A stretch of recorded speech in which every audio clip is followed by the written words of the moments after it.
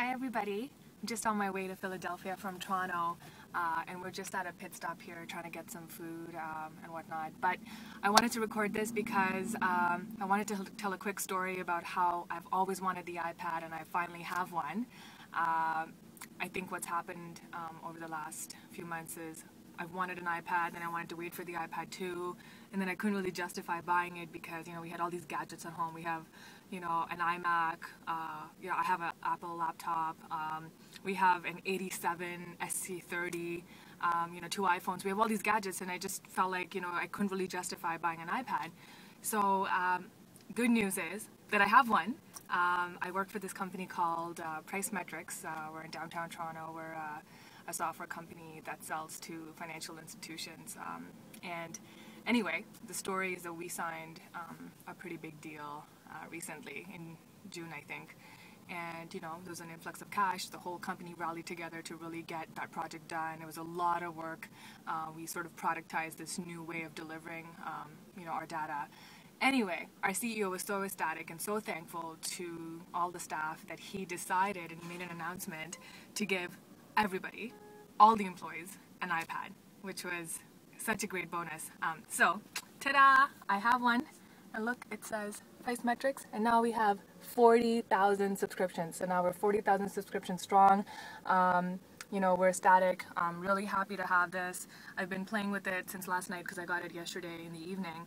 Um, and now that I'm on my way to Philadelphia, the whole plan is to buy some very interesting accessories um, to further leverage the technology in this little thing.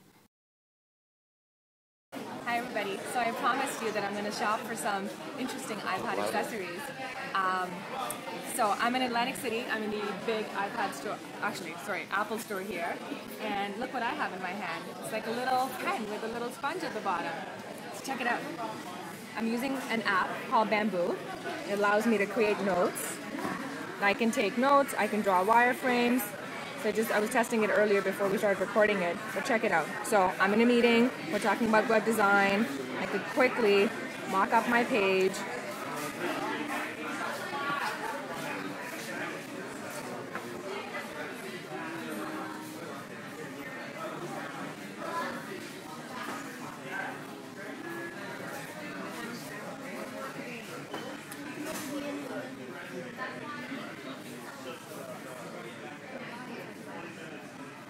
whatever.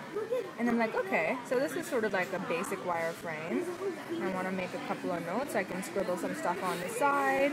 And you know what? I don't ever have to transfer this to paper. I can actually just email it to myself or save it as an image or even print this right off. So I love that feature. You can also change your colors. You can erase some of this stuff. Oops. Da, da, da. Oh, you can clear your page. I didn't know that. So this is my first purchase here today. I'm going to look for some other interesting things.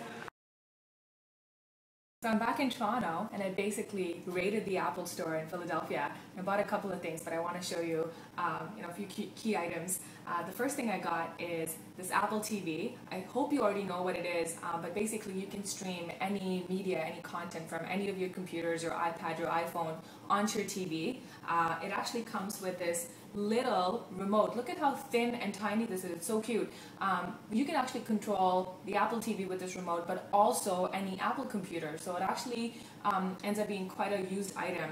Uh, it, the one thing to remember is that if you have more than one Apple computer in your house, this tends to become a little sensitive because it doesn't really recognize which computer you're trying to control, especially if they happen to be in the same vicinity. So you just have to work around that a little.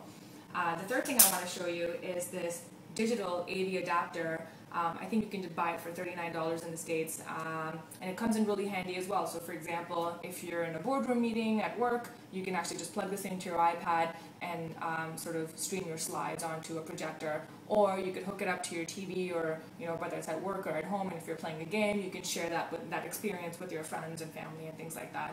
Um, I also want to show you my favorite accessory, which is the um, iPad smart cover. So check out my iPad, it's attached to it.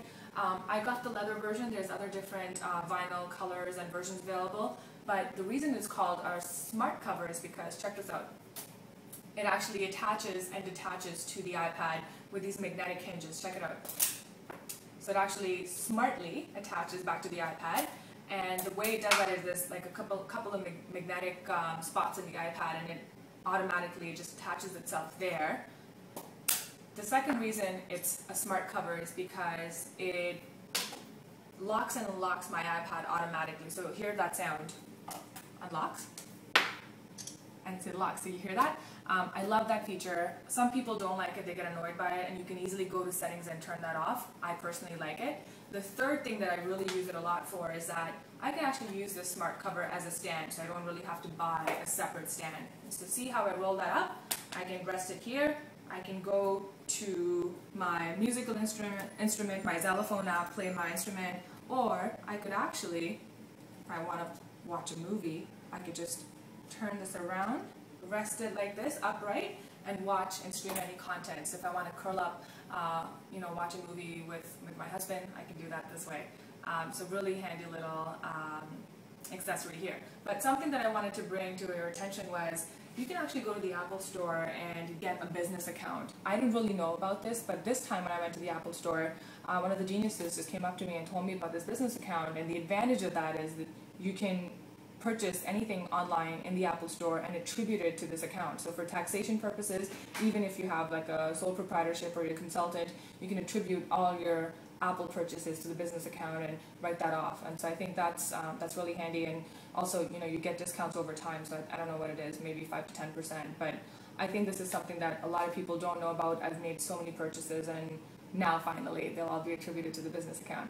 Um, for me, I've bought accessories and things that make sense for my lifestyle. Um, so I encourage you to go to the Apple Store, go online, and explore what accessories make sense for you and your lifestyle. Thank you.